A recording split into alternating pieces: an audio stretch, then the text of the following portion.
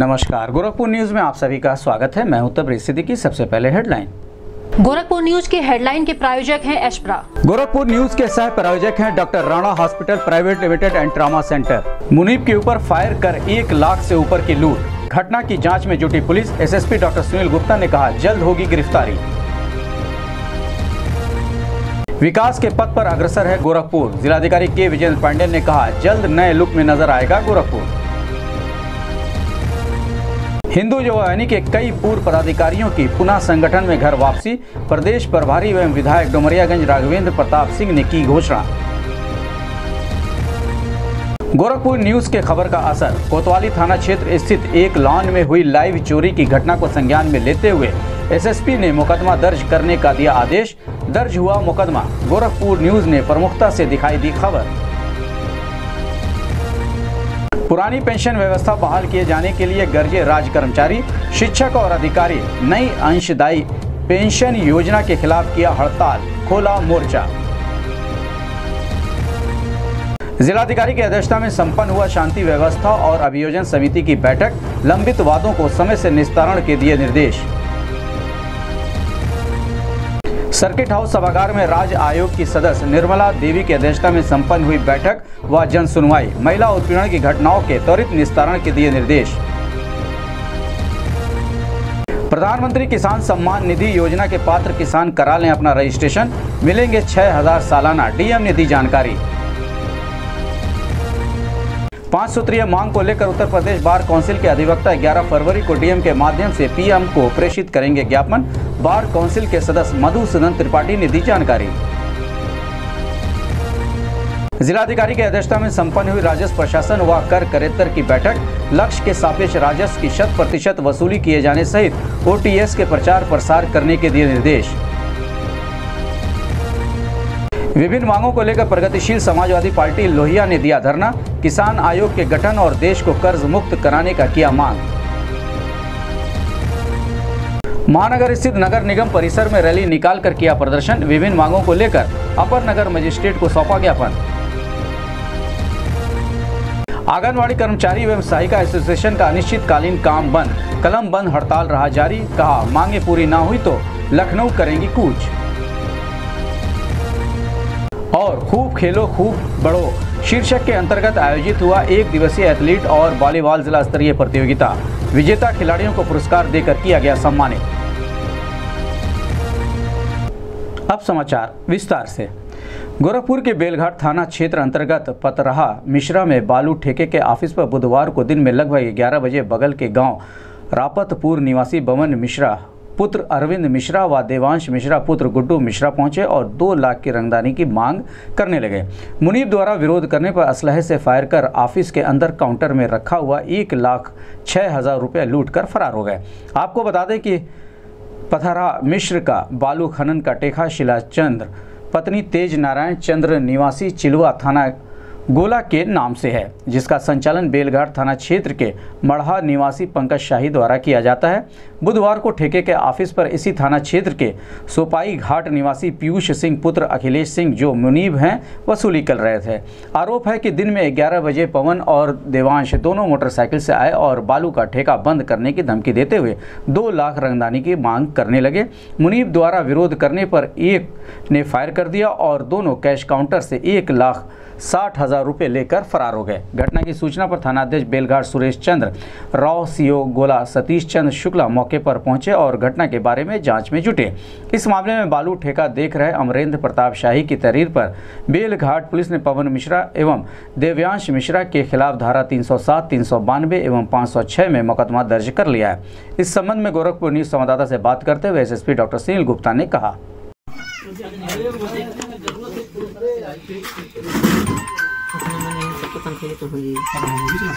क्या करो ये हमारी कौन डाल ये भाई पवन मिश्रा भाई हम देखते हैं कहीं महतारी छोड़ लोग ना की हो गई ना हेलो कहाँ रहा का अंदर उठो निकाल लग जा देखा मैं कहीं काम हम दैले बाटी हैं दैले बाटी का दैले बाटी दोनों ऐसा वैसा रहा था? हम ऐसे रहा थे। तो छेड़ा ना। और मारना फायरिंग करना है। फायरिंग करना हाँ हाँ आज रात ही ये लोग जाके इधर लोग हमरे गाँव में हम पता करते हैं और जो नहीं वो भाई है। ये लड़कियाँ का वही बड़ा लड़का पुलिस है? ये लोग फायरिंग करना है। गाँव में जाके अपने। तो हम लगारी भी नहीं है पता चला ये गोली लोग चलाउना है। के के रहल त हम लगारी भी नहीं पूछनी हमका नहीं बतावा ये के गोली चलाउले है सवेरे? पीयूष सिंह नाम है। क्या हुआ आपके साथ? घटना क्या हुई है? जी सर दो लोग आए थे बाइक से। हम्म, तो गेट से रंगबाजी मांग रहे थे। बोले थे दो लाख हमको पर डे का चाहिए। हम्म। उसके बाद? उसके बाद से हम वाद विवाद हुआ हम बोले कि हम कहाँ से दे सकते हैं दो लाख रुपया? उसके बाद से वो लोग गोली चला लिए। हम्म, सर हमारा बचाव हो गया हम निकल गए। हम्म, उसके बाद से अंदर आके घंटा सटा के हमारे ऊपर जितना पैसा था काउंटर में हमारे जेब में हम्म। सब लेके सर गोली बार बाहर फायरिंग किए फिर चले गए। कितना रुपया गया? जी सर एक लाख से होगा ऊपर ही होगा प्लस होगा। जी।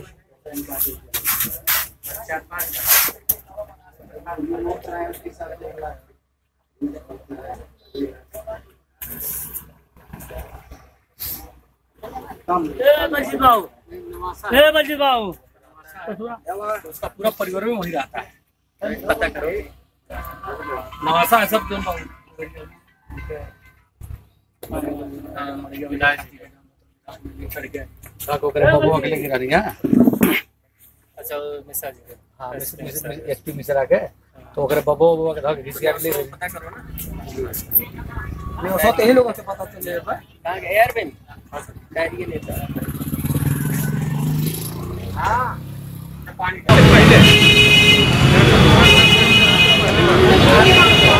हाँ डायल हंड्रेड पर अभी कोई सूचना आई थी कि बेलघाट थाना क्षेत्र में जो है किसी के कोई फायर हुआ है। वहाँ पर कोई जो एक बालू का काम करने वाले मुंशी के पास में दो लोग गए थे और उन्होंने पैसे वैसे की बात करी और पैसे ना देने पर जो है उन्होंने कुछ फायर किया और वहाँ पर रखे हुए उसके जो बिक्री के पैसे थे वो ले लिए। हालाँकि इसमें नामजद हैं जो वहाँ के प्रार्थ वादी है, जो उसने उसने पहचाना है कि वो कौन लोग थे, उसके आसपास के ही गाँव के लोग थे। तो इसमें विधिक कार्रवाई की जा रही, मुकदमा पंजीकृत करके जल्दी उनको गिरफ़्तार कर लिया जाएगा। गोरखपुर जनपद विकास के पथ पर काफ़ी अग्रसर है। जहाँ स्वास्थ्य सेवाओं को लेकर गोरखपुर में एम्स का निर्माण प्रगति पर है, वहीं फर्टिलाइज़र खाद कारखाना भी खाद का जल्द ही उत्पाद करेगा। गोरखपुर में आयुष्मान भारत योजना के तहत सरकारी तथा 70 गैर सरकारी अस्पतालों में लगभग दो लाख लोग इस योजना का लाभ उठा रहे हैं। इसके अलावा सरकार की तमाम योजनाएँ ज़िले में संचालित की जा रही हैं। इस संबंध में जिलाधिकारी के विजेंद्र पांडे ने गोरखपुर न्यूज़ संवाददाता से बात करते हुए बताया कि एक वर्ष में लगभग बीस बेरोजगारों को रोज़गार उपलब्ध कराने का कार्य किया गया है तथा इलेक्ट्रिसिटी कनेक्टिविटी को भी बढ़ावा दिया गया है। जल्द ही गोरखपुर एक नए लुक में नज़र आएगा। इस संबंध में गोरखपुर न्यूज़ संवाददाता से बात करते हुए जिलाधिकारी गोरखपुर के विजेंद्र पांडेयन ने कहा। देखिए, गोरखपुर में अब देखेंगे, पिछले दो साल में जो इतने सारे योजना चल रही है, तकरीबन इस समय में चालीस हज़ार करोड़ का योजना यदि हो चुका है, नहीं तो अभी तो निर्माणाधीन है इस पर यहाँ जो खासतौर पे एक एक योजना में मैं अब बता दूँ कनेक्टिविटी के बारे में, अब गोरखपुर से जो कितने शहर है, आसपास शहर है, जो यहाँ वाराणसी लें, आजमगढ़ लें, यहाँ जो आपका महाराजगंज लें, कुशीनगर लें, सारे जो रोड एक्सपेंशन हो रही है, जो टू लेन फोर लेन में हो रहे हैं four lane six lane eight lane में कन्वर्ट हो रहा है। यहाँ से सीधे सीधे भारतमाला योजना में जोड़ने के लिए योजना भी तेज़ी से चल रही है इस समय में। उसके साथ साथ यहाँ से लिंक एक्सप्रेस वे जो वैसे पूर्वांचल एक्सप्रेस वे कहला जाता है। उसी के यहाँ से गोरखपुर से आजमगढ़ का करीब 90 किलोमीटर का express highway access control express highway, world class में जो रूप से बनाने के लिए पूरा योजना हो गया है उस पर हम लोग सत्तर गाँव से ज़मीन का अधिग्रहण का काम भी प्रारंभ कर दिए। और उसके अलावा जो यहाँ का रिंग रोड है खासतौर पे जंगल कोड़िया से बाहर बाहर जो शहर के जाने के लिए और जो हावड़ बंदा का रिंग रोड है, उसके अलावा जो इंटरनल कितने रोड्स है, वो सबका चौड़ीकरण, सौंदर्यकरण, ये सारे चीज़ हो रहा है। यानी कनेक्टिविटी के दिशा में अब देखेंगे, गोरखपुर का जो भी शहर से यहाँ से जाना, नहीं तो किसी भी शहर से आना बहुत आसान हो गया। ये तो एक कनेक्टिविटी जो खासतौर पर रोड कनेक्टिविटी का है। दूसरा कनेक्टिविटी एयर कनेक्टिविटी का है। अब देखेंगे अब तो चार फ़्लाइट फ़िलहाल अभी चल रहा है। पहले तो मुश्किल से एक फ़्लाइट चलता था, केवल एयर इंडिया अब यह तो दिल्ली के लिए तीन फ़्लाइट फ़्लाइट है बेंगलोर का फ़्लाइट प्रारंभ हो गया और मुंबई का और जो हैदराबाद का फ़्लाइट तो अभी तो इसी एक महीने के अंदर प्रारंभ होने वाली है। कलकत्ता और लखनऊ को भी शहर जोड़ने के लिए योजना प्रारंभ हो गया है। अभी उसका बुकिंग अभी एक महीने के अंदर हो जाएगा। यानी जो गोरखपुर से और भी जो किसी भी कोने पर आपको भारत में जाना है तो फिर आपको बस घंटा वक्त का समय लगेगा। उसी टाइप की कनेक्टिविटी बढ़ गया। बाकी बड़े बड़े योजना में अब गिनेंगे तो यहाँ देखिए, पूर्वांचल में सबसे बड़ा योजना एम्स है। एम्स तो करीबन 2000 करोड़ का जो है, वो तकरीबन आठ महीने पहले से काम प्रारंभ हुआ। इतने तेज़ी से एम हुआ है। अब उम्मीद है इसी महीने उसको ओपीडी भी प्रारंभ होने वाली है। वो तो पूर्वांचल का एक तरफ़ जो मेडिकल हब के रूप से गोरखपुर उभर के आया है। केवल एम्स नहीं है हम बीआरडी के अंदर भी देखेंगे। आठ सुपर स्पेशलिटी यूनिट्स है, वो बन के तैयार है। वो भी इसी महीने से प्रारंभ हो जाएगा। जो किस चीज़ के लिए, बीमारी के लिए जनता लोग तरसते हैं खासतौर पे जो उनका जो मान लीजिए हार्ट रिलेटेड बीमारी है किडनी का है कैंसर ट्रीटमेंट है बड़े गंभीर बीमारी के लिए कहीं कहीं मरीज़ को एम्स जाना पड़ता है, दूर जाना पड़ता है, वो समस्या खत्म हो गया है। वो साथ साथ जो सरकार का एक बड़ा योजना है, जो आयुष्मान भारत का अंदर, यहाँ गोरखपुर में तीन लाख परिवार को हम लोग आच्छादित किए हैं। उस पर अब पाँच लाख तक का फ़ायदा जो भी परिवार किसी भी भारत में किसी भी कोने पर जा करके इलाज कर सकते हैं उसका। मान लीजिए वो एम्स भी जाना है, नहीं तो यहाँ गोरखपुर आकर के जाना है, उसी टाइप का इस पर अब तक हज़ारों संख्या में अब लोग लाभार्थी का हम लोग लाभान्वित भी करा चुके हैं। उसका संख्या तो बढ़ती जा रही है और करीबन सत्तर अस्पताल है। यहाँ प्राइवेट अस्पताल इस पर रुचि लेते हुए सेवा भी देना प्रारंभ कर दिए। ये एक स्वास्थ्य पॉइंट ऑफ़ व्यू में तो एक बड़ा अव्वल है ये जो एक अच्छा काम हुआ है। उसके अलावा जो और अन्य फ़ील्ड में भी देखेंगे, यहाँ देखेंगे रोज़गार पॉइंट ऑफ़ व्यू में हम लोग यहाँ जो यहाँ जो फर्टिलाइज़र फैक्ट्री बन रहा है तो करीबन आठ से दस हज़ार करोड़ का जो लागत में बन रहा है जापान टेक्नोलॉजी से। ये अभी तो जल्दी एक साल के अंदर प्रारंभ होने वाली है। उसका गेल पाइपलाइन है, वो दूर से कनेक्ट होके वो पाइपलाइन का लाइन भी बिछ गया है, वो तैयार हो गया। साथ साथ अभी हाल ही में एक योजना है एल पी, पेजल, पाइप्ड जो कनेक्शन है पाइप डोमेस्टिक जो सिलेंडर बनाने के कनेक्शन है, वो भी करीब तीन हज़ार करोड़ में प्रारंभ हो गया है। उसका जो माननीय प्रधानमंत्री जी आएँगे, उसी का, उनका कार्यक्रम द्वारा से हम लोग उसको योजना का प्रारंभ भी करेंगे। ये जो कनेक्टिविटी के बारे में, यानी जो खासतौर पर जो इंडस्ट्रियल बेल्ट में जो कितने बढ़ावा देना है, उसी का है। और साथ साथ जो गीडा में आसपास जगह का लैंड बैंक भी हम लोग क्रिएट कर रहे हैं। यहाँ इंडस्ट्रियल सम्मेलन इन्वेस्टर समिट में करीब 2000 करोड़ का निवेश गोरखपुर में हुआ है अब तक। उस पर तो तमाम फैक्ट्रियाँ अपने ज़मीन उसको सेलेक्ट करके वो अपने इंडस्ट्री का प्रारंभ भी करा चुके हैं यहाँ। और इसके अलावा दो रोज़गार मेला हम लोग किए हैं। अब तक बीस हज़ार लोग का नौकरी हम लोग एक साल के अंदर दिलवाया उसके बाद एक महीने, अगले महीने भी एक रोज़गार मेला लगाने के लिए प्रस्तावित है। उसी दिशा पे हम लोग रोज़गार जो कितने लोग को भी ज़रूरत है, उसी हिसाब से हम लोग का डेटाबेस भी मेंटेन है। पचास का जो इस समय का जो बेरोज़गार लोगों का सूची हमारा पास है, उससे बीस हज़ार लोग का हम लोग नौकरी दे चुके हैं। बाकी तीस हज़ार लोग के भी जल्दी से जल्दी नौकरी हम लोग दिला देंगे, उसी स्थिति पे है। और और बाकी योजना में भी देखेंगे जो पेंशन धारक योजना है यहाँ तो तीन तरह का पेंशन मिलता है। वृद्धा पेंशन विधवा पेंशन और विकलांग पेंशन उस पर भी हम लोग कैंप के ज़रिए से अब तक जो हम लोग वृद्धा पेंशन है, तकरीबन चालीस हज़ार लोग वृद्धा पेंशन ले रहे हैं। उसके अलावा विकलांग जन है, एक एक जन भी अठारह साल के ऊपर जो विकलांग जन है, उनका हम लोग छोड़ा नहीं है, उनको भी शामिल करते हुए प्रति महीने पाँच सौ रुपया के दर से हम लोग उनका पेंशन भी दिलाएँ उसके अलावा विधवा महिला है, जो निराश्रित महिला है, उन्हीं लोगों को भी शामिल करते हुए किसी महिला को भी नहीं छोड़े, हम लोग समय समय पर कैंप भी लगाते रहते हैं। उसके अलावा सरकार का दो महत्वपूर्ण योजना है, एक सौभाग्य योजना है। सौभाग्य योजना के अंदर निशुल्क बिजली कनेक्शन देना था। हम लोग पूरे गोरखपुर का आच्छादित कर चुके हैं। एक भी मजरा अभी छूटा नहीं है। यहाँ जो जगह जगह पर हर लोग का हम लोग मुफ़्त कनेक्शन दे चुके हैं। वैसे हम लोग का डेढ़ लाख का टारगेट है, बट हम लोग दो लाख के ऊपर अचीव करा चुके हैं। उसके अलावा जो कहाँ कहाँ जो मजरा, जो मान लीजिए छोटी छोटी कस्बा है, वो भी छूटा हुआ है। उसको हम लोग फ़ील्ड ऑफिसर के ज़रिए से सर्वे कर रहे हैं, ताकि तो इसी महीने तक, यानी फरवरी तक कोई छूटा हुआ व्यक्ति यदि तो जाने अनजाने में, उनको भी शामिल करते हुए हम लोग पूरा योजना का आच्छादित करते हैं उसको। उसके अलावा ये उज्ज्वला योजना है, जानते हैं उस पर उसी के अंदर जो free cylinder connection LPG connection तो मिलता है उनका परिवार का। उसी के अंदर हमें कैंप के ज़रिए से लगभग जो कितने पात्र लाभार्थी सबको कवर कर चुके हैं। और जो समय समय पर जो भी भिन्न योजना है, राज्य सरकार का, केंद्र सरकार का, उसी के अंदर जो कितने लाभार्थी को हम लोग लाभान्वित करा सकते हैं, उस हिसाब से हम लोग लाभान्वित करा चुके हैं। और बाकी जो अभी प्रगति पे है, गोरखपुर, आप देखेंगे तो छः सात महीने के बाद, गोरखपुर, पहले का गोरखपुर, अभी का गोरखपुर का बिल्कुल अलग नज़रिया में नज़र आएगा। एक उबलता हुआ विकासित गोरखपुर आपको एक साल के अंदर देखने के लिए मिलेगा। हिंदू युवा वाहिनी के प्रदेश कार्यालय हिंदू भवन गोरखपुर पर प्रदेश प्रभारी एवं विधायक डुमरियागंज राघवेंद्र प्रताप सिंह ने एक प्रेस वार्ता कर हिंदू युवा वाहिनी के कई पूर्व पदाधिकारियों को पुनः संगठन में वापस किए जाने की घोषणा की। इस अवसर पर प्रदेश प्रभारी श्री सिंह ने कहा कि स्थापना के समय से संगठन और विचारधारा के साथ विपरीत समय में भी संघर्ष करने वाले कार्यकर्ता अगर किसी कारण से थोड़ा भटक गए थे, लेकिन विचारधारा से समझौता नहीं किया, उन्हें पुनः वापस लिया जा रहा है। वापसी हेतु पूर्व प्रदेश महामंत्री राम लक्ष्मण, पूर्व प्रदेश उपाध्यक्ष श्रवण सिंह, पूर्व प्रदेश मंत्री अरुण भारती, पूर्व संरक्षक संत कबीरनगर वेद प्रकाश सिंह, पूर्व प्रभारी झांसी विभाग अरविंद वर्मा, पूर्व सह प्रभारी बस्ती विभाग श्याम बिहारी गौड़, पूर्व जिला प्रभारी अजय गोविंद राव शिशु के नाम की घोषणा हुई। इस अवसर पर हिंदू युवा वाहिनी के प्रदेश महामंत्री इंजीनियर पी के मल, गोरखपुर विभाग प्रभारी विनय जायसवाल, गोरखपुर जिलाध्यक्ष विजय शंकर यादव, हिमांशु गुप्ता, संदीप शर्मा सहित बड़ी संख्या में कार्यकर्ता उपस्थित रहे। इस संबंध में गोरखपुर न्यूज़ से बात करते हुए हिंदू युवा वाहिनी के प्रदेश महामंत्री इंजीनियर पी के मल ने कहा। हिंदू युवा अपने स्थापना काल से ही अपने हिंदुत्व के मुद्दे पे अपनी मूल विचारधारा के मुद्दे पे हिंदुआनी कार्यकर्ता इसमें कार्य करते रहे।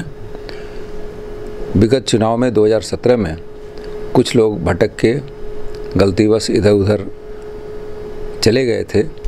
आज हमारे हिंदुआनी के प्रदेश प्रभारी श्री राघवेंद्र प्रताप सिंह जी माननीय विधायक डुबरियागंज उन्होंने कुल सात लोगों की वापसी की है।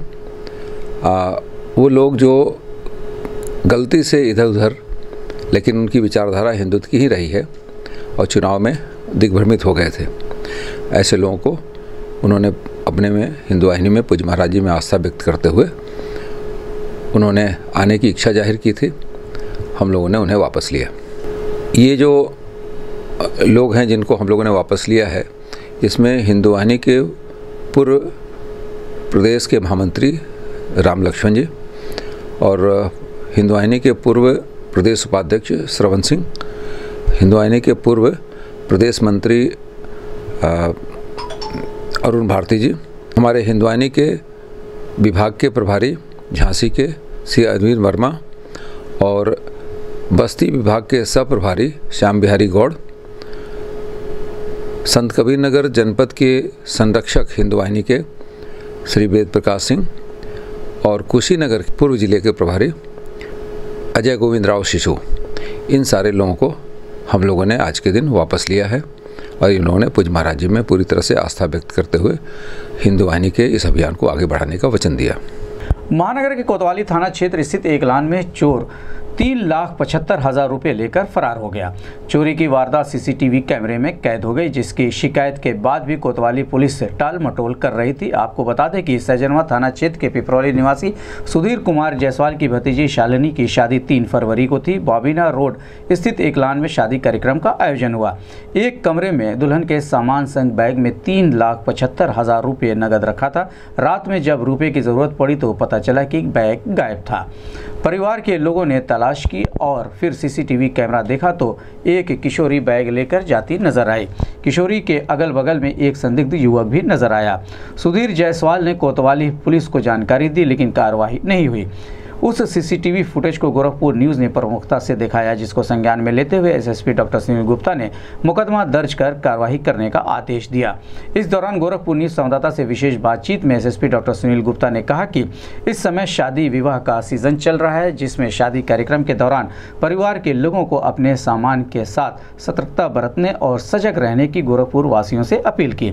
इसके पश्चात पीड़ित सुधीर जायसवाल की तहरीर पर चोरी की धारा के तहत मुकदमा पंजीकृत किया गया। इस संबंध में गोरखपुर न्यूज़ संवाददाता से बात करते हुए लड़की के भाई पीड़ित किशन जायसवाल ने कहा कि आपके चैनल के ज़रिए सबसे पहले हमारा न्यूज़ दिखाया गया है, जिससे हम आपके आभारी हैं।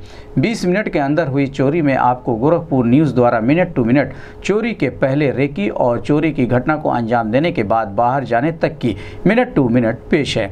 ये खास रिपोर्ट शाम आठ बजकर दो मिनट पर पहले लड़की लान में एंट्री करती है। उसके ठीक लगभग तीस सेकेंड बाद एक लड़का एंट्री करता है। आठ बजकर पाँच मिनट से आठ बजकर सात मिनट तक लड़की द्वारा रेकी किया जाता है।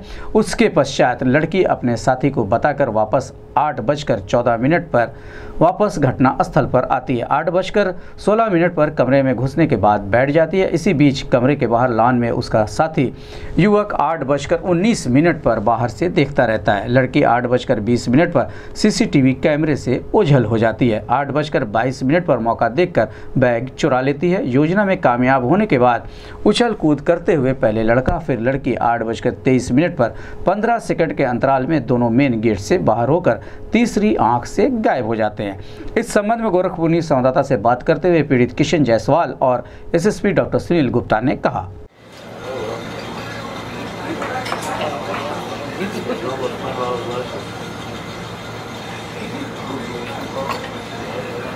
Going in, we I like that uh, long. I guess it's about 50 or something. I always get him in another one. Good old niece. She has that face and that's the joke. Such a nice guy. And he never minds me being for a party. Oh my gosh, another guy. Oh, God, he was a drug. Mm-hmm. He is, but he's not. He's just in this regular.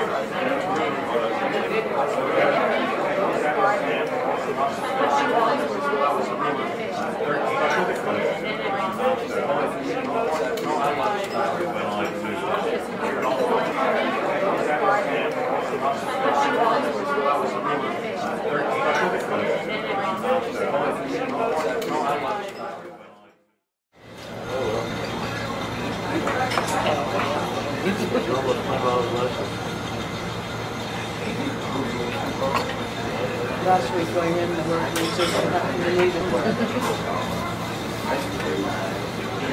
I like that. I guess to nice. He was sick quite a. I always get him in another one. This whole week is cheerful. That Saturday, he rescued Joe. Such a nice guy. And he never minds me being.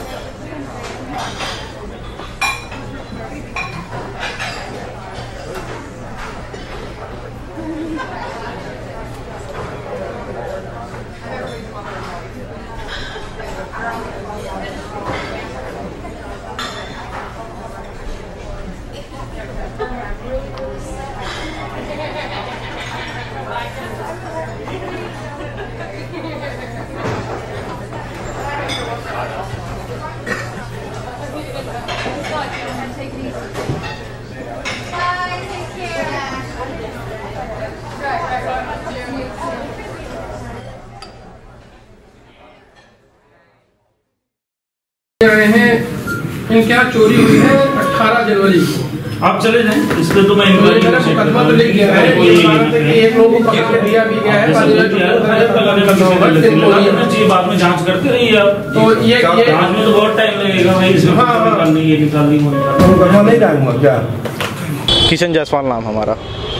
तीन तारीख को जैसे हमारे sister की शादी थी उसमें एक आठ बजे प्रोग्राम में जो चोरी हो गई थी तो कोतवाल साहब ने हमारी बात नहीं सुनी थी। आज हम एसएसपी साहब के पास आए हैं। उन्होंने हमारी बात सुनी है। एफआईआर दर्ज हुआ है। ये आपके चैनल से हमको बहुत ही सबसे पहले न्यूज़ दिखाया। गया है। इसमें बहुत आपकी कृपा रही है हमारी। जी एक कोई मैरिज लॉन है जिसका सीसीटीवी वायरल हो रहा है। कि एक छोटी बच्ची उसमें जा करके कुछ पैसे चुरा के भाग रही। ऐसा हमें आरोप मिला है। तो इस संबंध में मुकदमा दर्ज करके इसमें कार्रवाई की जाएगी और इसमें अगर ज़रूरत पड़ी तो खुफिया और विभाग की भी मदद ली जाएगी और शादी वर्दी में तैनात करके ये अगर इसके पीछे कोई गैंग या सुनियोजित कोई अपराध है तो उसके बारे में हम लोग कार्रवाई करेंगे। और आपके चैनल के माध्यम से मैं जनता को भी ये अनुरोध करूँगा, चूँकि शादियों का सीज़न चल रहा है बहुत सारे मैरिज हॉल हैं, सभी जगह पुलिस प्रबंध देना बहुत मुश्किल होता है। अपनी सतर्कता रखें, इस तरह के कुछ लोग बाहर से आते हैं, जो छोटी बच्चियों को से ये सब करा लेते हैं। और सीसीटीवी फुटेज में जैसा दिख रहा है कि कोई छोटी बच्ची है जो आती है अंदर और पैसों से भरा बैग लेके चंपत हो जाती है। उत्तर प्रदेश कर्मचारी शिक्षक अधिकारी पुरानी पेंशन बहाली मंच के अंतर्गत बुधवार को राज्य कर्मचारी ने कार्यालयों में तालाबंदी कर हड़ताल किया और नगर निगम के रानी लक्ष्मीबाई पार्क में धरना दिया। राज्य कर्मचारियों की मुख्य मांग, नई अंशदायी पेंशन योजना को निरस्त कर पुरानी पेंशन व्यवस्था को बहाल करने को है। राज्य कर्मचारी ने पुरानी पेंशन व्यवस्था लागू करने के लिए जमकर नारेबाजी किया। हड़ताल में भारी संख्या में राज्य कर्मचारी, अधिकारी और शिक्षक मौजूद रहे। इस संबंध में गोरखपुर न्यूज़ संवाददाता से बात करते हुए पुरानी पेंशन बहाली मंच के चेयरमैन भारतेंदु यादव ने कहा। सचिव ने एक जाएँगे।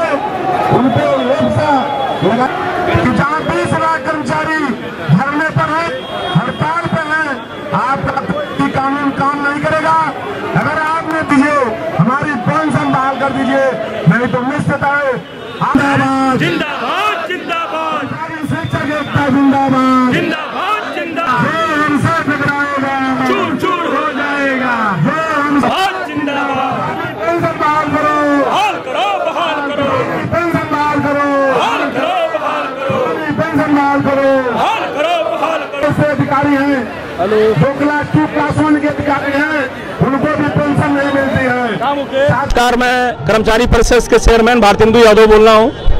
बताना चाहता हूँ कि आज दिनांक रानी लक्ष्मीबाई पार्क में 6 तारीख से आगामी 12 तारीख तक महाहड़ताल हम लोग कर रहे हैं। आज गोरखपुर ही नहीं पूरा उत्तर प्रदेश बंद है और बंदी का सिर्फ़ और सिर्फ़ एक कारण है पुरानी पेंशन बहाली। हम शासन से सत्ता से मांग करते हैं कि जो हमको पुरानी पेंशन पहले से मिलती आ रही थी, वह पुरानी पेंशन हमको वापस कर दिया जाए। और जो सांसद विधायक एक दिन के लिए भी मनोनीत होते हैं, उनका, उनको पुरानी पेंशन दिया जा रहा है।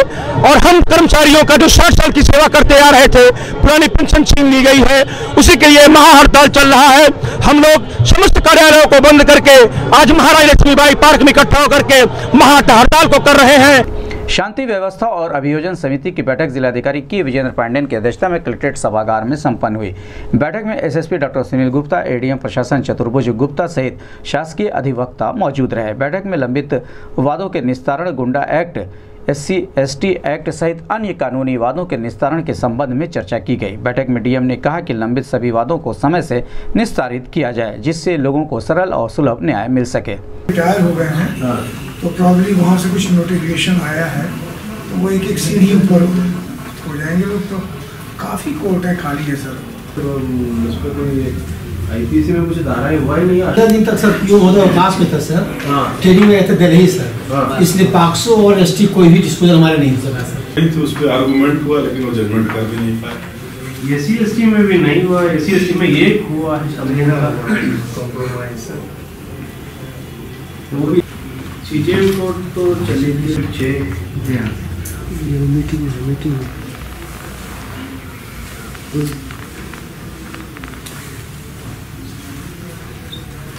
ये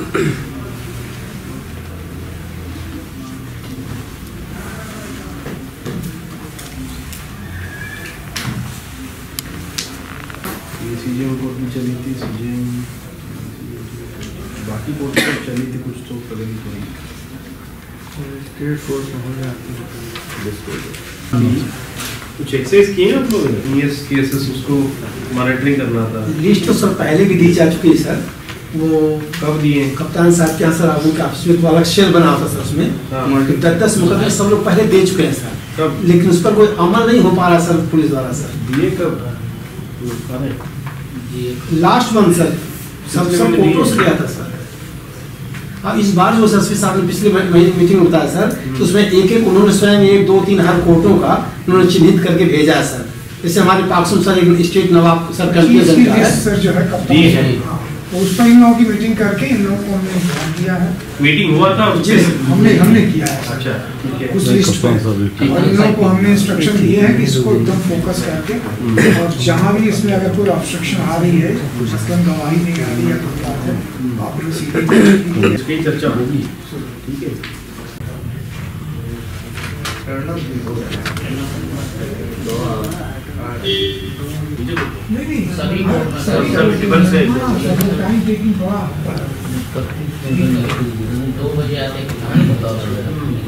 तो सेकंड हाफ़ में होता है ऐसा कुछ नहीं है sir S C S T code जो कोड नंबर दो है उसके जज साहब थर्टी फ़र्स्ट रिटायर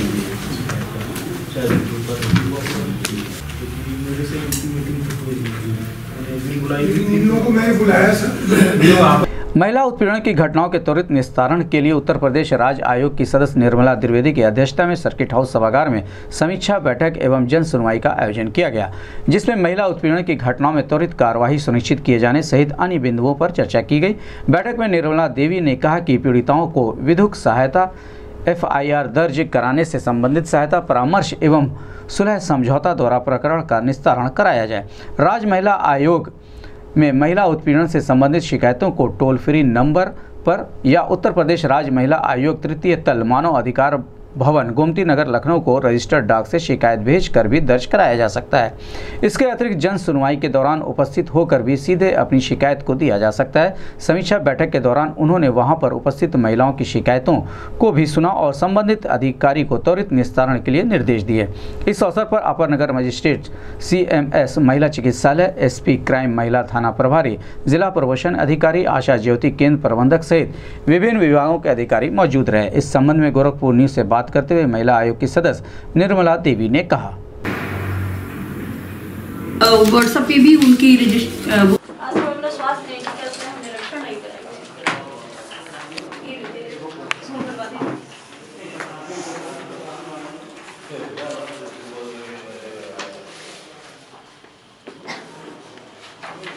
और हमने आपसे कहा था कि इससे पहले आ, हम लोग जब आए थे उसके बाद ददू जी ने जब यहाँ किया होगा तो वो रिपोर्ट भी उनके साथ गई होगी। जी। तो उसके बाद से आज तक आपके पास कितने केस आए हैं? किस तरह के आए हैं? ये दे दीजिए महिला की आप सदस्य और तमाम महिलाओं समस्या है उसको लेकर के आपने आज बैठक किया अधिकारियों के साथ किन बिंदुओं पर मुख्य चर्चा हुई देखिए मुख्य तो ये है कि महिलाओं के उत्पीड़न का होगा अंत और महिला आयोग है उनके संग। हमारा पूरा प्रयास है कि जो भी पीड़ित बहनें हैं जो पीड़ित महिलाएँ हैं वो आएँ तो उन्हें न्याय मिले। और हम पूरा प्रयास करते हैं कि उसका मौके पर ही निस्तारण हो। और यहाँ पे सारे अधिकारी रहते हैं वो पूरा कॉपरेट करते हैं सहयोग करते हैं ताकि उनको किसी भी समस्या का सामना ना करना पड़े। और हम चाहते हैं कि महिला थाने से ही उनकी समस्याओं का समाधान हो जाए अगर वो गोरखपुर के आसपास की हैं तो। हाँ? आज एक मैटर था एक लड़की के सामान के वापस होने का। काफ़ी दिनों से प्रयास कर रही थी, वो काफ़ी परेशान थी। तो उसको 20 तारीख की एक डेट मिली है, हम सबने प्रयास किया है। एसपी क्राइम ने भी, हमारी महिला थानाध्यक्ष थी, शालिनी सिंह जी ने, मैंने खुद ही स्वयं बात की है। तो ये फाइनल हुआ है कि हाँ बीस तारीख को उसको महिला थाने से सामान मिल जाएगा। किस तरह का सामान है? शादी में मतलब मामला यही था कि उसकी शादी हुई थी पति ने चोरी से फिर दूसरी शादी कर ली। तो वो बोली कि फिर मैं ऐसे लोगों के साथ मैं कैसे रहूँगी जिन्होंने मेरे रहते हुए दूसरी शादी कर ली? तो हम इनके साथ नहीं रहना चाहते हैं। लिहाजा हमने जो भी दिया था इनको हमारा सामान वापस किया जाए। तो हमने कहा ये बात तो सच है उसे सामान तो मिलना ही चाहिए। देखिए हम हर ज़िले में हम लोग का कार्यक्रम प्रथम बुधवार को और तीसरे बुधवार को लगता है। हम जितनी भी महिला आयोग की सदस्य हैं, वो सभी जिलों में जाती हैं, जनसुनवाई करती हैं। या तो सर्किट हाउस में या वहाँ कहीं, जहाँ भी वहाँ के डीएम साहब व्यवस्था करते हैं। आयोग की तरफ़ से उनको लेटर गया हुआ होता है वो जहाँ पे भी व्यवस्था करते हैं हम वहाँ पे जाते हैं और वहाँ पे जो जनता आई रहती है उनकी समस्याओं का समाधान करते हैं कोशिश करते हैं कि तुरंत निस्तारण कर दें ताकि उनको दोबारा दौड़ना ना पड़े। महिला महिला आयोग में शिकायत कर सकती है? जी निःशुल्क। हमारे यहाँ लखनऊ में कोर्ट भी बैठती है कोर्ट में हम सभी सदस्य एक एक दिन बैठते हैं सबका डे फिक्स है और वहाँ पे लखनऊ में सारी चीज़ें हैं और बिल्कुल निःशुल्क हैं। एक पैसा नहीं लगता है और उनके साथ पूरा न्याय होता है। हम अभी पोस्टर बैनर भी हर बस अड्डे पे लगा रहे हैं ताकि ज़्यादा से ज़्यादा संख्या में महिलाओं को इस बात की जानकारी हो, वो महिला आयोग आएँ और हम उनकी समस्या का समाधान कर सकें ताकि वो खुश रहें अच्छा जीवन व्यतीत करें। तो है? हाँ वहाँ पे भी करते हैं और अगर थोड़ा सा लेट होता है तो फिर उसको दोबारा देखते हैं, दोबारा देखते हैं। हम अपने थाने से, अपने जो हमारा एक सौ इक्यासी ये आशा ज्योति केंद्र है, उनसे सबसे सबकी रिपोर्ट मांगते हैं हर महीने कि आप लोगों के पास कितनी सूचना, कितने मैंने शिकायतें आई। महिला थाने से भी लेते हैं कि आपके पास कितनी शिकायतें आई। आपने किनका निस्तारण किया, क्या बाकी है और क्यों बाकी है? क्यों नहीं इस पर कार्रवाई हुई? वैसे ऐसा होता नहीं है। हमारी सभी थानाध्यक्ष अच्छी हैं, काफ़ी मेहनती हैं और वो सभी काम करती हैं। मैं चाहूँगी कि लखनऊ हाई कोर्ट के बगल में हमारी महिला आयोग का ऑफ़िस है, इंदिरा गांधी प्रतिष्ठान के सामने, और बिल्कुल सारी चीज़ें निःशुल्क हैं। वो आएँ, अगर किसी भी तरह से उनको कोई भी समस्या है तो वो वन एट वन डायल करें और उस पर वो एक सौ इक्यासी नंबर की गाड़ी उनके पास आएगी। उनको आशा ज्योति केंद्र हमारा ही हमारी तरफ़ से ही महिला आयोग की तरफ़ से ही लगाया गया है। और वो उनका मौके पर ही निस्तारण भी करती हैं, उनका साथ भी देती हैं। अगर कोई दिक्कत होती है तो मेडिकल भी कराती हैं, उनका एफआईआर भी कराती हैं और हम लोगों को भी जानकारी देती हैं। और साथ साथ महिला थानों पर भी मतलब वो सूचना देती हैं। तो सबसे पहले तो ये बहुत महत्वपूर्ण बात है कि वो वन डायल करके और अपनी शिकायत वहाँ दर्ज कराएँ। प्रधानमंत्री किसान सम्मान निधि योजना के अंतर्गत लघु एवं सीमांत कृषकों, जो अधिकतम दो हेक्टेयर भूमि के मालिक हैं, उनको छह हज़ार रुपये वार्षिक दिया जाना है, जिसकी प्रथम किश्त इसी माह से भारत सरकार द्वारा लघु एवं सीमांत कृषकों को दिया जाएगा। इस योजना के लाभ हेतु एक सप्ताह के अंदर सभी कृषक बंधु जिन्होंने अपना अभी तक पंजीयन नहीं कराया, वे साइबर कैफ़े एवं विकास खंड स्तर पर कृषि विभाग के कर्मचारियों से संपर्क कर तत्काल अपना पंजीकरण कृषि विभाग की वेबसाइट पर कराकर योजना का लाभ उठा सकते हैं। इस योजना की जानकारी देते हुए जिलाधिकारी के विजेंद्र पांडेन ने बताया कि योजना के पात्र किसानों को छः हज़ार रुपये सालाना दिया जाना है जो दो हज़ार की तीन किश्तों में दिया जाएगा। इस संबंध में गोरखपुर न्यूज़ से बात करते हुए जिलाधिकारी के विजेंद्र पांडेन ने बताया। सर प्रधानमंत्री किसान सम्मान निधि योजना लागू है। क्या करना किसानों को किस तरह देखिए किसान का मैं आपके चैनल के ज़रिए से अपील कराना चाहता हूँ जो कितने किसान साथी हों। देखिए एक बहुत महत्वपूर्ण योजना है। केंद्र सरकार का योजना है हंड्रेड परसेंट केंद्र सरकार का फंडेड योजना है। उसी के अंदर दो हेक्टेयर के नीचे जो भी किसान परिवार है उनके पास ज़मीन है, उनका प्रति महीने 500 के दर से उनको एक तरफ़ एक सम्मान निधि भारत सरकार देने जा रही है। उसी के अंदर हम लोग जो डेटाबेस क्रिएट कर रहे हैं मतलब कितने किसान हैं जनपद में, उसी लोग का इकट्ठा करके हम लोग पोर्टल में एक सप्ताह के अंदर फ़ीड कराने के काम प्रारंभ हो गया है। किसान लोग कितने डायरेक्ट बेनिफिट स्कीम के अंदर पहले ही अपने नाम दर्ज करा चुके हैं रजिस्टर करा चुके हैं। उन लोग का अभी पाँच लाख लोग फ़िलहाल हम लोग के पास है। उन लोग का अभी तो डेटा इकट्ठा करके उन लोग को जल्दी उन लोग का खाता में पैसा पहुँचने के लिए हम लोग को काम आगे बढ़ा दिए। बाकी किसान साथी कितने लोग छूटे हुए हैं, उन लोगों का मैं निवेदन करता हूँ, कृपया करके यहाँ कृषि विभाग आकर के संपर्क करें, अपने नाम रजिस्ट्री करा दें। रजिस्ट्री कराने के बाद ज़रूर आपका आधार का और बैंक अकाउंट का डिटेल दे दें, ताकि इसी महीने अंत तक आपका खाता में पाँच सौ रुपया के दर से हर महीने के हिसाब से दो हज़ार रुपया अभी इसी महीने तक मिलने वाली है। इसका फ़ायदा अच्छा से उठाएँ, हम लोग भी मेहनत करके आपको नाम बढ़ा करके दे देंगे ताकि इससे आपको भी फ़ायदा मिलेगा और सरकार की योजना आप तक पहुँच पाए। सर कितने किस्तों में पैसा मिलना है? इसको जो फ़र्स्ट किस्त यानी तीन किस्त में मिलता है पहला किस्त अभी तो फरवरी अंत तक चले जाएगा दो हज़ार रुपया चलेगा। तो उसके बाद साल में चार किस्त होगा तीन तीन महीने के दो हज़ार दो हज़ार की किस्त में जाएगा।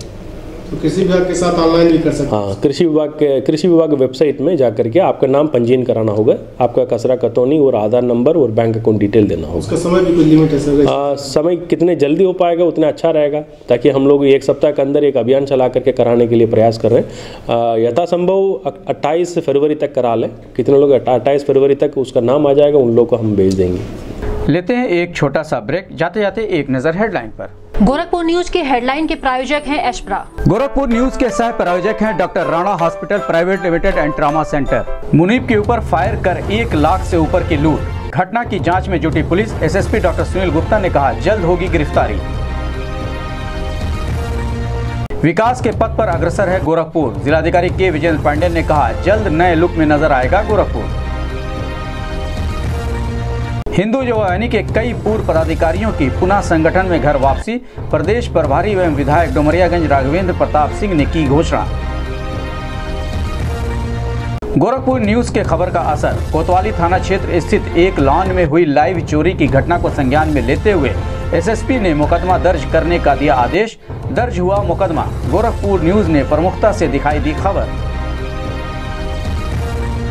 पुरानी पेंशन व्यवस्था बहाल किए जाने के लिए गरजे राज कर्मचारी, शिक्षक और अधिकारी, नई अंशदायी पेंशन योजना के खिलाफ किया हड़ताल, खोला मोर्चा।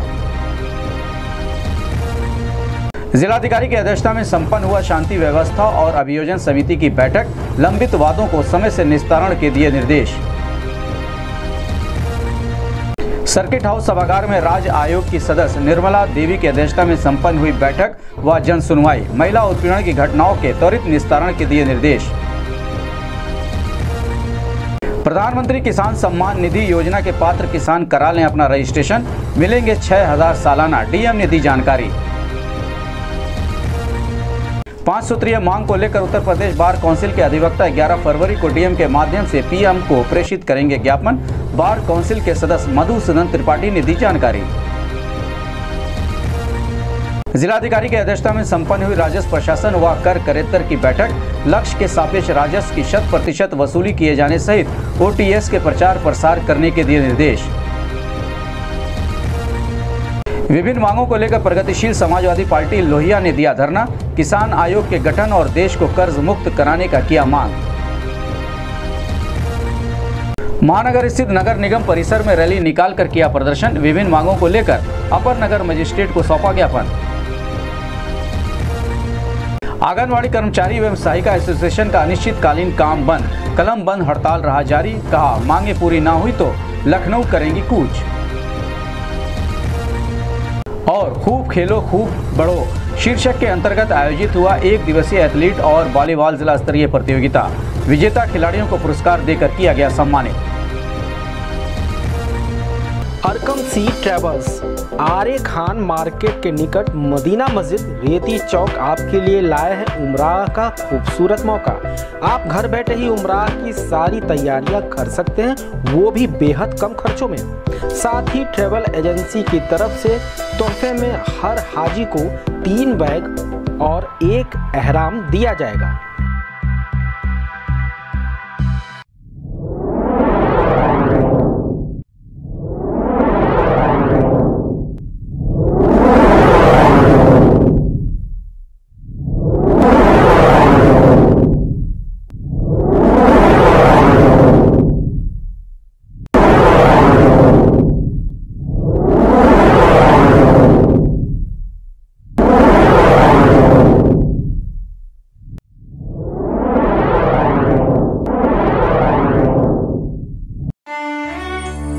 चाहे कितने भी बड़े हो जाएँ, कुछ तोहफे हम कभी नहीं भूलते।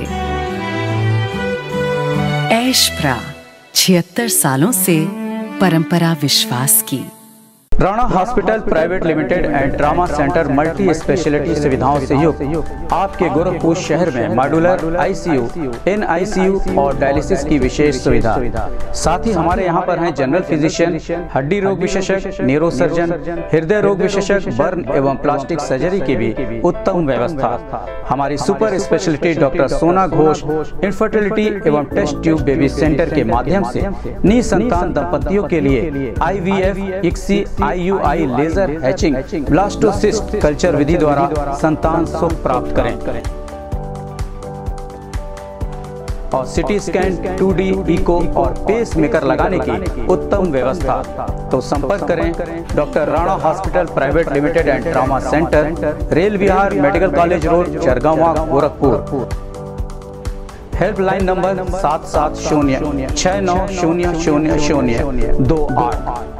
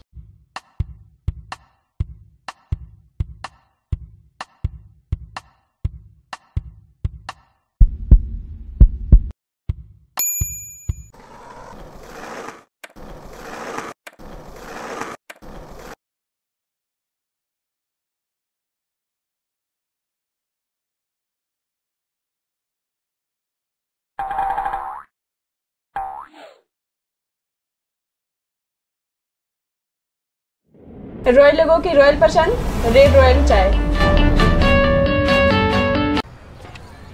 बात करके देखते हैं बात करनी चाहिए। बात। बात। बात ऐसी है कि एक बार बात करना चाहता हूँ मैं तुमसे। बात तो कर सकते हैं ना हम लोग। अब मुझे ऐसा लगता है अमृता कि होता है। वो चाहता है। समझता बेटर है। मैं क्या कह रहा था? अमू तुम्हें मुझसे बात करनी चाहिए। कभी ना कभी तो बात करनी थी। नहीं टाइम आ गया है हमें बात करनी चाहिए। हाँ। है ना? पापा? हाँ। किससे बात कर रहे हो? अम्मू किसी से नहीं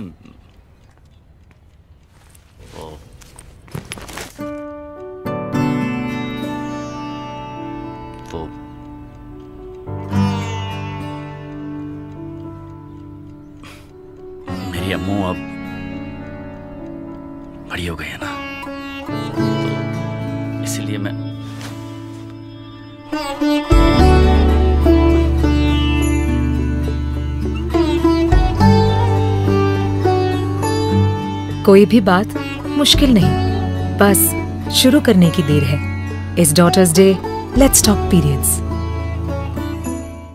Pegasus Nissan Gorakhpur का एकमात्र निशान डस्टन का एक्सक्लूसिव शोरूम और वर्कशॉप जी हाँ सही सुना आपने। जिन गाड़ियों के खरीदने के लिए या सर्विसिंग के लिए आपको गोरखपुर से बाहर जाना पड़ता था, अब पेगस निशान लाए हैं।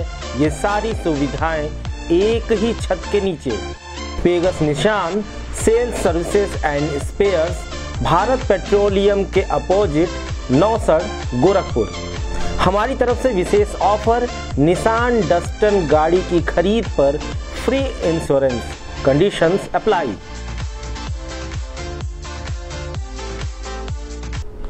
के बाद आपका स्वागत है।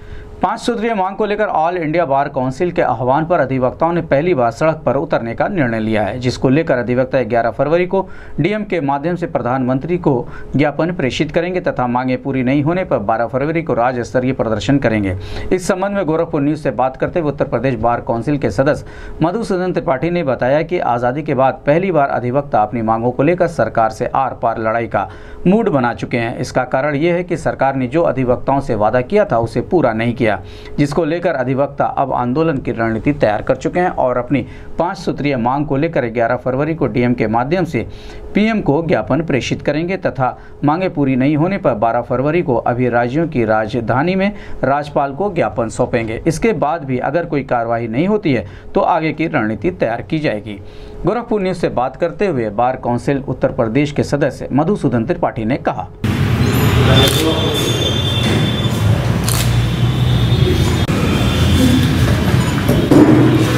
भैया मोबाइल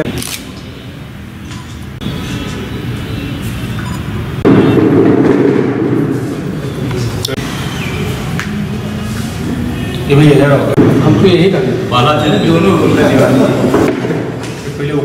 स्वतंत्रता संग्राम के बाद और पार्लियामेंट के गठन के बाद सन उन्नीस सौ बावन के बाद यह पहली बार अधिवक्ताओं ने अपनी मांग को लेकर के पूरे भारतवर्ष में 11 तारीख को वहाँ के लोकल जो हर ज़िले के डीएम होंगे, उनको अपनी मांग पत्र देंगे और 12 तारीख को जो उधर एनसीआर के अधिवक्ता हैं, वो दिल्ली में राष्ट्रपति का पत्रक देंगे और 12 तारीख को यहाँ से जुलूस के शक्ल में सारे अधिवक्ता चल करके डीएम को एक और दो के बीच में पत्रक देंगे। हमारी मांग यह है कि माननीय श्री नरेंद्र मोदी जी प्रधानमंत्री होने के पूर्व एक मार्च सन 2014 को महात्मा गांधी मंदिर गुजरात में अधिवक्ताओं के बीच में यह भाषण दिए थे कि जब हम प्रधानमंत्री होंगे तो अधिवक्ताओं के इंटरेस्ट में काम करेंगे और उनको उनको पेंशन देंगे, उनको स्टाइपेंड देंगे, उनका जीवन बीमा कराएँगे, उनको मृत्यु पर पैसा देंगे और जो अधिवक्ता असक्षम हो जाते हैं, घर पर बैठ जाते हैं 80 वर्ष 70 वर्ष के बाद, उनको पेंशन देंगे और बीमारी पर अधिवक्ताओं को एक एक मुश्त राशि दी जाएगी कि वो अपना किसी भी हॉस्पिटल में, देश के कोने, किसी भी हॉस्पिटल में अपनी दवा करा सकें। इस बात को हमारे जो ऑल इंडिया बार काउंसिल के चेयरमैन हैं, मन्नन जी ने इस बात को लिख करके 22 जनवरी सन 2019 को उनको याद दिलाया कि चार वर्ष बीत गया और आपने अधिवक्ताओं के बीच में ये आश्वासन दिया था इन मांगों को मानने के लिए और अभी तक आपने जो बजट पास किया है, उसमें अधिवक्ताओं को आपने कोई रिलीफ नहीं दिया। इसको लेकर के उनकी के बाद ऑल इंडिया बार काउंसिल ने पूरे देश के स्टेट बार काउंसिल का एक मीटिंग बुलाया, जिसमें मैं भी गया था। और वो ऑल इंडिया जो ये क्या कहते हैं हाई कोर्ट है, उनके प्रेसिडेंटों की मीटिंग बुलाया एनसीआर के सारे अधिवक्ताओं की मीटिंग बुलाया, और 2 फरवरी सन 2019 को यह प्रस्ताव पारित हुआ कि हमारी मांग, छह मांगे हैं हमारी। पहली मांग है कि हर एसोसिएशन को, ज़िले के अधिवक्ताओं को बैठने के लिए एक अच्छी बिल्डिंग बने, जिसमें टॉयलेट कैंटीन और ई लाइब्रेरी लाइब्रेरी और इंटरनेट से वो सुसज्जित हो और अलग से महिलाओं के लिए बने। दूसरा मांग उन्होंने ये किया कि अधिवक्ता के मरने के बाद या जो डिसेबल हो जाते हैं, उनको जब वो डिसेबल हो जाते हैं तो उनको पैसा दिया जाए अपना जीवन यापन करने के लिए। दूसरा, जो 10 पाँच वर्ष तक जो अधिवक्ता, नई न्यू कमर हमारे अधिवक्ता बंधु आते हैं, उनको दस हज़ार रुपया पर मंथ स्टाइपेंड दिया जाए। तीसरा, उनका जीवन बीमा कराया जाए। चौथा, उन्होंने ये मांग किया कि जो जुडिशियरी में जजेज और जुडिशियल अफसर रिटायर होते हैं तो उनको जो है एडमिनिस्ट्रेटिव बॉडी जो है, उसको कहीं न कहीं फोरम में या कहीं नियुक्त करती है, उसके लॉ को अमेंडमेंट किया जाए। और उसमें अधिवक्ताओं, जो सुयोग्य अधिवक्ता हैं, उनको भी रखा जाए। ये सब मांगे लेकर के हमारी मांग को ये प्रधानमंत्री जी के पास हम लोगों ने भेजा, राज्यपाल के पास भेजा, और उन मांगों को अगर वो नहीं मांगेंगे तो 11 तारीख को पूरे देश का अधिवक्ता, हर ज़िले का अधिवक्ता, हर तहसील का अधिवक्ता, अपने ज़िले पर आ करके और एक प्रोसेसन के रूप में अध्यक्ष जी के नेतृत्व में ये डीएम से एक और दो बजे मिलेगा। अपना पत्रक माननीय प्रधानमंत्री, राज्यपाल और मुख्यमंत्री को दे- देगा डीएम के माध्यम से। और 12 तारीख को अगर इस पर फिर कोई विचार नहीं हुआ तो 12 तारीख को पूरे देश के अधिवक्ता अपने अपने स्टेट में, जो वहाँ के स्टेट है, राजधानी है, वहाँ राज्यपाल को अपना रिप्रेजेंटेशन देगा और जो दिल्ली के अधिवक्ता हैं, वो राष्ट्रपति को अपना इस देंगे। उसके बाद भी अगर वो हमारी मांगे नहीं पूरी हुई तो पूरे देश में इसके लिए एक फिर मीटिंग करके all India bar council, state bar council, सारे मीटिंग करके एक फिर निर्णायक लिया जाएगा कि निर्णय लिया जाए कि क्या किया जाए। और हम लोग, ये सरकार अगर कही है, स्टेट गवर्नमेंट का भी जब चुनाव होने वाला था तो वो भी अपने मैनिफेस्टो में लिखा था कि अधिवक्ताओं के हित की बात किया जाएगा। लेकिन दोनों सरकारें इसी संबंध में मैं आपको बता दूँ कि तेलंगाना की जो सरकार है, वो 100 करोड़ रुपया अधिवक्ताओं को हर एनुअल बजट में देती है। 10 करोड़ रुपया सालाना। जो हरियाणा की सरकार है, वो सरकार ज़मीन सस्ती रेट पर लेकर के अधिवक्ताओं की कॉलोनी बनाने के लिए पैसा दे रही है।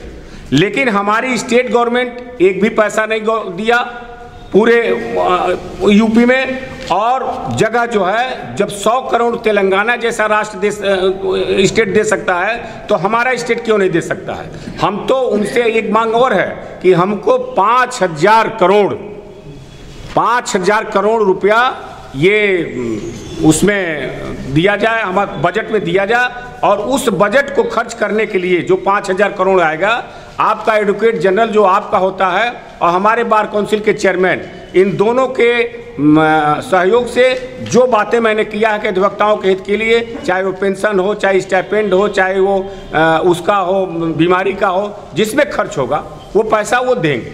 अगर वो नहीं देते हैं, सरकार नहीं देते हैं तो अब अधिवक्ता सड़क पर आ गया है और अपनी लड़ाई लड़ने के लिए खुद सक्षम है। हम आज तक स्वतंत्रता संग्राम की लड़ाई लड़े हैं। हमने संविधान बनाया है, हमने सारा एक्ट बनाया है, लेकिन हम अपने लिए कभी मांग नहीं किए हैं। ये पहली बार है जब हम अधिवक्ता सड़क पर उतर करके अपनी मांग माँगता है। आप बताइए स्टेट लेवल पर आँगन कतरी जैसे लोग अपना मांग मनवा लेते हैं, शिक्षक अपना मांग मंगवा लेते हैं। ये जो अवैतनिक शिक्षक थे, वो लोग अपनी मांग मंगवा लेते हैं। तो उनसे संख्या तो चौगुना हमारी है। हमारी मांग क्यों नहीं मांगी जाएगी? हम भी सड़क उतरेंगे और हम भी लड़ाई लड़ने के लिए तैयार हैं इस बार। राजस्व प्रशासन व कर करेक्टर की बैठक जिलाधिकारी के विजेंद्र पांडेन की अध्यक्षता में कलेक्ट्रेट सभागार में संपन्न हुई। बैठक में डीएम ने निर्देश दिया कि लक्ष्य के सापेक्ष शत प्रतिशत वसूली सुनिश्चित कराई जाए तथा इस माह के अंत तक हर हाल में लक्ष्य को पूर्ण कर दिया जाए। उन्होंने विभागवार रिट याचिकाओं में शपथ पत्र दाखिल करने के संबंध में निर्देश दिया कि सभी वादों में समय से शपथ पत्र अवश्य दाखिल हो जाएँ। उन्होंने बिजली विभाग के अधिकारियों को निर्देश दिया कि जनपद में सरचार्ज समाधान योजना का व्यापक प्रचार प्रसार भी कराया जाए, जिससे कि अधिक से अधिक लोगों को इसका लाभ मिल सके। बैठक में एडीएम प्रशासन उप जिलाधिकारी एवं विभिन्न विभागों के अधिकारी मौजूद रहे वो यार ऑनलाइन में कुछ प्रॉब्लम थी सुरक्षा चले चले क्यों बात ये तुम सदर के चार हैं लंबे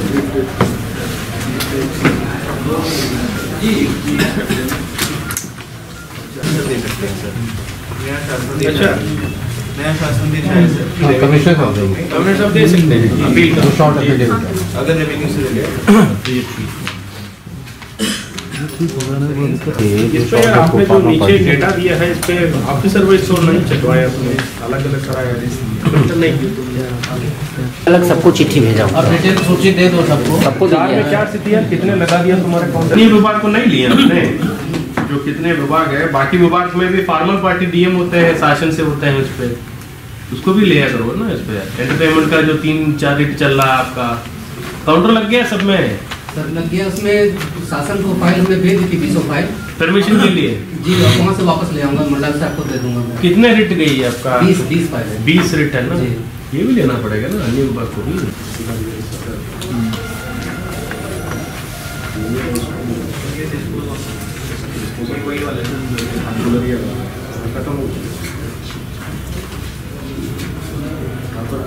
एक ही है आपका? नहीं दो है सर एक और हुआ वो कल मैंने लगाया।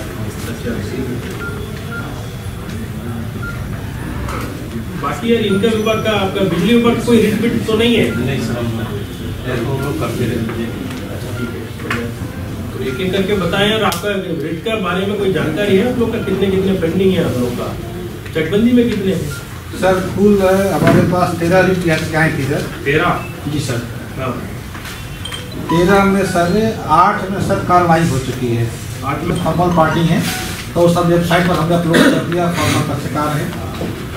प्रगतिशील समाजवादी पार्टी लोहिया बौद्धिक सभा के राष्ट्रीय अध्यक्ष दीपक मिश्रा के नेतृत्व में बुधवार को नगर निगम के रानी लक्ष्मीबाई पार्क में विभिन्न मांगों को लेकर एक दिवसीय धरना दिया।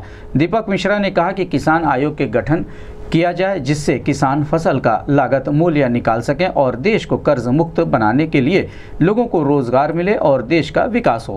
इस अवसर पर धरने में प्रगतिशील समाजवादी पार्टी लोहिया बौद्धिक सभा के पदाधिकारी और कार्यकर्ता मौजूद रहे। इस संबंध में गोरखपुर न्यूज़ संवाददाता से बात करते हुए प्रगतिशील समाजवादी पार्टी लोहिया बौद्धिक सभा के राष्ट्रीय अध्यक्ष दीपक कुमार मिश्रा ने कहा तुझे अंगड़ाई अभी तुझे अंगड़ाई है आगे अंगड़ाई है अभी तुझे अंगड़ाई है आगे अंगड़ाई है अभी तुझे अंगड़ाई है आगे अंगड़ाई है अभी तुझे अंगड़ाई है आगे अंगड़ाई है अभी तुझे अंगड़ाई है आगे अंगड़ाई है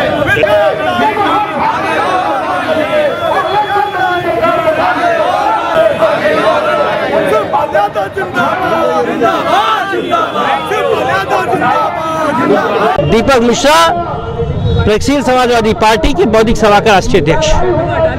देखिए, हमारी मांग यह है कि किसान आयोग का गठन हो, ताकि किसान अपने जो लागत है उसको निकाल सके और देश को कर्जा मुक्त बनाया जाए। कर्जे से पूरी देश कराह रही है। और तो और अभी आपने गोरखपुर में देखा एक परिवार पूरा कर्ज के नाते आत्मदाह को विवश हो गया, उसके परिवार को नौकरी दिया जाए। कल ही हमारा शिष्टमंडल जयप्रकाश जी की अगुवाई में उनसे मिला था। और पूरे देश की जो अर्थव्यवस्था चौपट कर दी गई है, ऐसी आर्थिक नीतियाँ बनाई जाए जिससे लोगों को रोज़गार मिले। और अगर विकास हो रहा है तो विकास कुछ घरानों में ही क्यों? आप देखिए पूरी तरफ़ क्या कराह मची हुई है, जिसे देखिए वह सड़कों पर रो रहा है, पत्ता पत्ता सूख गया है, सोच में डाली डाली है, कैसा बाग का माली है? अब प्रगतिशील समाजवादी पार्टी का कारवां निकल चुका है, और इन सभी समस्याओं को लेकर आज हमारा शिष्टमंडल यहाँ पर धरना देने के लिए उपस्थित हुआ है और एक बात और स्पष्ट है। अब प्रगतिशील समाजवादी पार्टी समाजवाद को सशक्त करते हुए, सामाजिक न्याय की लड़ाई को लड़ते हुए सांप्रदायिक ताकतों की शक्तियों को विनष्ट करेगी और आने वाला जो सूरज होगा, वो प्रगतिशील समाजवादी पार्टी का होगा, वो डॉक्टर राम मनोहर लोहिया के सपनों का होगा अशफाकुल्ला खान और राम प्रसाद बिस्मिल की साझा विरासत का होगा। महानगर स्थित नगर निगम परिसर में बुधवार को संयुक्त संविदा कर्मी बेरोजगार महागठबंधन के बैनर तले विभिन्न विभागों के संविदा कर्मियों ने रैली निकालकर प्रदर्शन करते हुए जिला अधिकारी कार्यालय पहुँचे, जहाँ जमकर नारेबाजी की। इस दौरान संविदा कर्मचारियों ने अपर नगर मजिस्ट्रेट को ज्ञापन सौंपा और अपने विभिन्न मांगों से उनको अवगत कराया। इस संबंध में गोरखपुर न्यूज़ संवाददाता से बात करते हुए संयुक्त संविदा कर्मी जनहित संघर्ष मोर्चा उत्तर प्रदेश के प्रदेश अध्यक्ष मृत्युंजय पांडे ने कहा।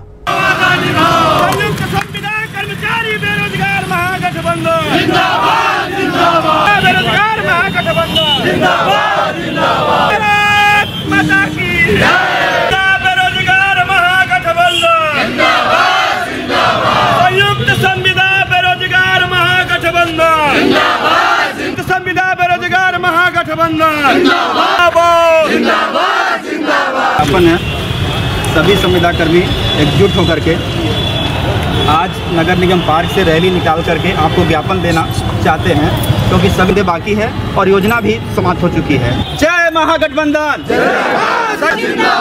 संयुक्त संविदा बेरोजगार महागठबंधन। जिंदाबाद जिंदाबाद। हमारी मांग पूरी हो।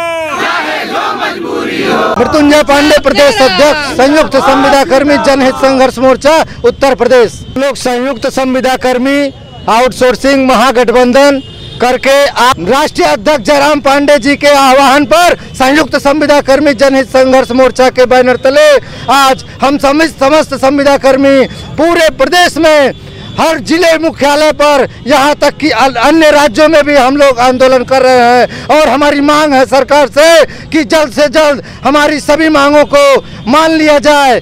आठ फरवरी को माननीय प्रमुख सचिव जी की अध्यक्षता में जो बैठक लखनऊ में होने वाली है, जिसमें समस्त संविदा कर्मियों के भविष्य के बारे में विचार किया जाएगा, हम मांग करते हैं आपके चैनल के माध्यम से कि उस संविदा कर्मियों की बैठक में शिक्षा प्रेरक का भी नाम जोड़ा जाए और हमारे भी भविष्य का ध्यान रखा जाए। जय संविदा कर्मी जय महागठबंधन। मानदेय सहित अपनी विभिन्न मांगों को लेकर आंगनवाड़ी कर्मचारी सहायिका एसोसिएशन का काम बंद, कलम बंद, हड़ताल नगर निगम के रानी लक्ष्मीबाई पार्क में बुधवार को भी जारी रहा। हड़ताल में भारी संख्या में आंगनबाड़ी सहायिकाएँ शामिल हुई। आंगनबाड़ी कर्मचारी एवं सहायिका एसोसिएशन के जिला संयुक्त मंत्री संगीता आर्या ने कहा कि बजट पास होने के बाद बड़े मानदेय का राजज्ञा जारी नहीं हुआ है। जिसके लिए पूरे प्रदेश में आंगनवाड़ी सहायिका धरना दे रही हैं। अगर हमारी मांगे पूरी नहीं होती हैं तो 10 तारीख के बाद लखनऊ के लिए कूच करेंगे। इस संबंध में गोरखपुर न्यूज़ संवाददाता से बात करते हुए एसोसिएशन की जिला संयुक्त मंत्री संगीता आर्या ने कहा। अभी तक जारी नहीं किया गया। नहीं आ रही। पिछले दो तीसरा साल धरना करता किसी के ऊपर कोई कार्रवाई नहीं हुई। क्या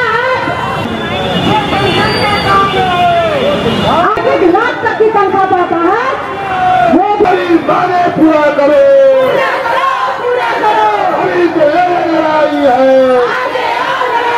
संगीता आर्या मैं आंगनबाड़ी कर्मचारी सहायता एसोसिएशन की जिला संयुक्त मंत्री हूँ।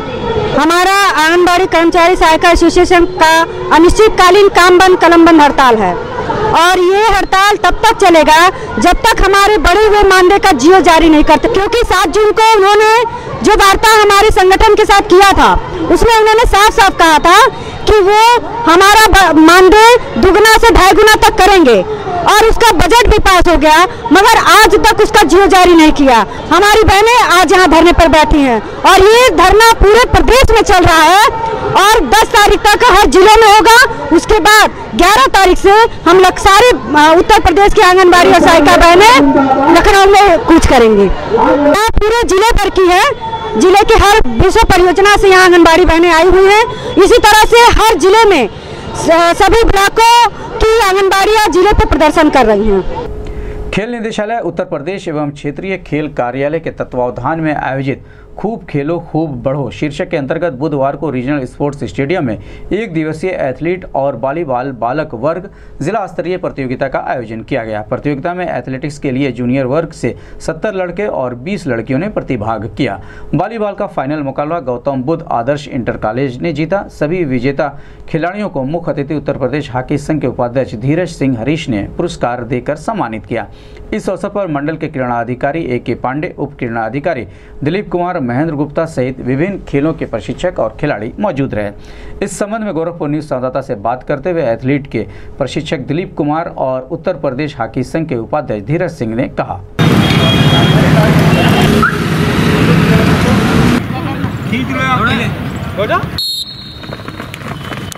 अरे।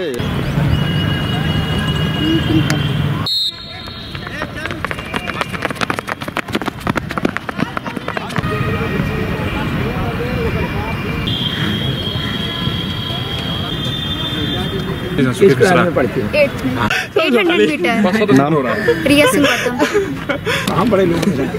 मधु गुप्ता। ठीक है छोटी बात है।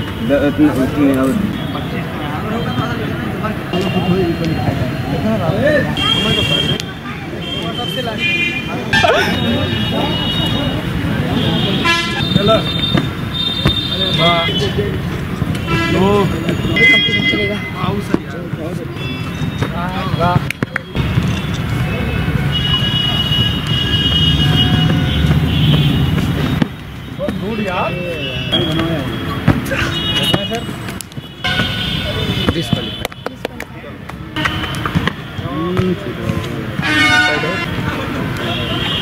ठीक कर रहे हैं वेरी गुड एक पैर के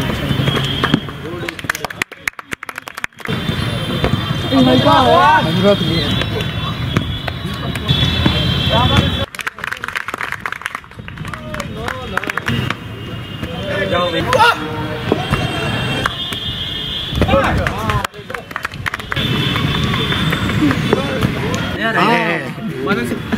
और तुम भी इनको सेकंड प्लेस मिला है, दूसरे विजेता है। 200 मीटर, बालक वर्ग रवि मिश्रा। विशाल साहनी द्वितीय सुमित यादव। मिला इनको 800 मीटर, मनीष निषाद द्वितीय आशीष आशीष गिरी। पंद्रह सौ शैलेश कुमार तृतीय। लंबी कूद प्रथम अमित पासवान तृतीय लाला निषाद लाला निषाद की आज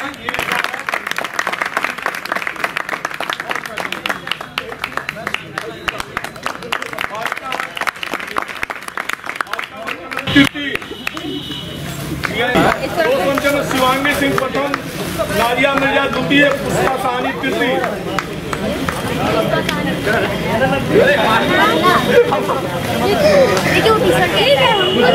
चार सौ मीटर में नेहा यादव प्रिया यादव सेकंड नादिया मिर्ज़ा थर्ड भारती सिंह है ज्योति भारती तृतीय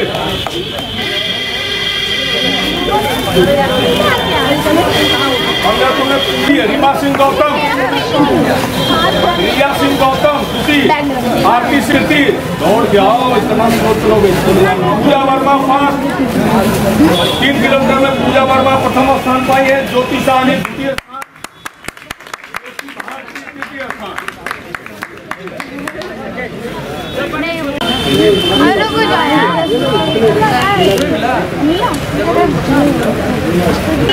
स्थान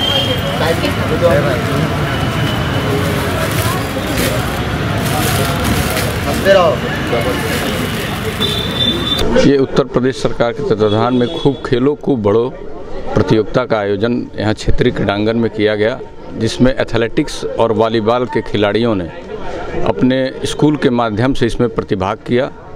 यह निश्चित तौर पे एक ऐसा आयोजन है, जो लड़कों को मूल रूप से निचले स्तर से ले जा कर के एक ऊंचाई तक ले जाने का प्रयास है और निश्चित तौर पे जिन बच्चों ने इसमें प्रतिभाग किया है और जिन्होंने स्थान पाया है और जो बच्चे इसमें स्थान नहीं पाए, वे भी निश्चित तौर पे अगले साल संघर्ष के माध्यम से खूब खेलों के इस आयोजन में जो सहयोग यहाँ के अधिकारियों का रहा है, निश्चित तौर पे सराहनीय है। और हम आशा करते हैं कि इसके माध्यम से खेल को एक नई दिशा और दशा मिलेगी। जाते जाते एक नज़र हेडलाइन पर। गोरखपुर न्यूज़ के हेडलाइन के प्रायोजक हैं एशप्रा। गोरखपुर न्यूज़ के सह प्रायोजक हैं doctor Rana hospital private limited and trauma centre. Munib के ऊपर फायर कर एक लाख से ऊपर की लूट। घटना की जाँच में जुटी police. SSP doctor Sunil Gupta ने कहा जल्द होगी गिरफ्तारी। विकास के पथ पर अग्रसर है गोरखपुर। जिलाधिकारी के विजेंद्र पांडे ने कहा, जल्द नए लुक में नज़र आएगा गोरखपुर। हिंदू युवानी के कई पूर्व पदाधिकारियों की पुनः संगठन में घर वापसी, प्रदेश प्रभारी एवं विधायक डुमरियागंज राघवेंद्र प्रताप सिंह ने की घोषणा। गोरखपुर न्यूज़ के खबर का असर। कोतवाली थाना क्षेत्र स्थित एक लॉन में हुई लाइव चोरी की घटना को संज्ञान में लेते हुए एसएसपी ने मुकदमा दर्ज करने का दिया आदेश। दर्ज हुआ मुकदमा। गोरखपुर न्यूज़ ने प्रमुखता से दिखाई दी खबर। पुरानी पेंशन व्यवस्था बहाल किए जाने के लिए गरजे राज कर्मचारी, शिक्षक और अधिकारी, नई अंशदायी पेंशन योजना के खिलाफ किया हड़ताल, खोला मोर्चा। जिलाधिकारी की अध्यक्षता में संपन्न हुआ शांति व्यवस्था और अभियोजन समिति की बैठक। लंबित वादों को समय से निस्तारण के दिए निर्देश। सर्किट हाउस सभागार में राज्य आयोग की सदस्य निर्मला देवी की अध्यक्षता में संपन्न हुई बैठक व जन सुनवाई। महिला उत्पीड़न की घटनाओं के त्वरित निस्तारण के दिए निर्देश। प्रधानमंत्री किसान सम्मान निधि योजना के पात्र किसान करा लें अपना रजिस्ट्रेशन। मिलेंगे 6000 सालाना डीएम ने दी जानकारी। पाँच सूत्रीय मांग को लेकर उत्तर प्रदेश बार काउंसिल के अधिवक्ता 11 फरवरी को डीएम के माध्यम से पीएम को प्रेषित करेंगे ज्ञापन। बार काउंसिल के सदस्य मधुसूदन त्रिपाठी ने दी जानकारी। जिलाधिकारी की अध्यक्षता में संपन्न हुई राजस्व प्रशासन व कर करेत्तर की बैठक। लक्ष्य के सापेक्ष राजस्व की शत प्रतिशत वसूली किए जाने सहित ओटीएस के प्रचार प्रसार करने के दिए निर्देश। विभिन्न मांगों को लेकर प्रगतिशील समाजवादी पार्टी लोहिया ने दिया धरना। किसान आयोग के गठन और देश को कर्ज मुक्त कराने का किया मांग। महानगर स्थित नगर निगम परिसर में रैली निकालकर किया प्रदर्शन। विभिन्न मांगों को लेकर अपर नगर मजिस्ट्रेट को सौंपा ज्ञापन। आंगनबाड़ी कर्मचारी एवं सहायिका एसोसिएशन का अनिश्चितकालीन काम बंद। कलम बंद हड़ताल रहा जारी। कहा, मांगे पूरी ना हुई तो लखनऊ करेंगी कूच। और खूब खेलो, खूब बढ़ो। शीर्षक के अंतर्गत आयोजित हुआ एक दिवसीय एथलीट और वॉलीबॉल जिला स्तरीय प्रतियोगिता। विजेता खिलाड़ियों को पुरस्कार देकर किया गया सम्मानित। अब आप मुझे इजाज़त दीजिए। नमस्कार।